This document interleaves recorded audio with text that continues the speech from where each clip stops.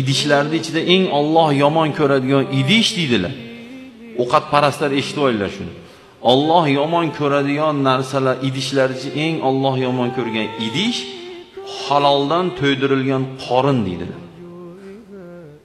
Yana maqtanib ham qo'yadi ha desa 5 kishi 2 kilo osh yeb yubordi deydi. Deb o'ylayapsiz normalniy qo'tos yeydi bu ovqat. Odam unaqa bo'lmasligi kerak. Yana oshga hazm qiladigan dorini oladiganlar bor ekan. Cho'ntagida dori bilan kirar ekan. Deb o'ylab ko'ring oldin farg'ona suvi bo'lardi bo'kib qolgan qo'ylarga mollarga ichqizardik farg'ona suvini bilasizlarmi shuni? Oldin farg'ona suvi ishlab chiqib hozir yo'q bo'lsa kerak. Qarang bo'kib qolishini oldindan o'zi biladi. Shu o'limga yetdi ovqatni.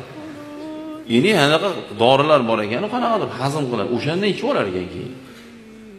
Odam bu darajada ahmoq bo'lmasligi kerak. Ya'ni ishtonini remenini yechish kerak ekanda bu. Shuni gapirmaydi degandim o'zim ham kulib yubordim haqiqatdan shunday deyishyapti bolalar qora aka oshimizda shunaqa bolalar borki remenini yechib ovqat yeydi deydi.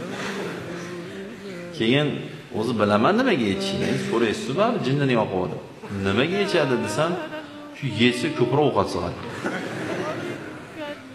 Darajada bo'lmasligi kerak edi odam to'g'rimi? Deb turib o'zim qornimni tortib olyapman bilasizmi astag'firulloh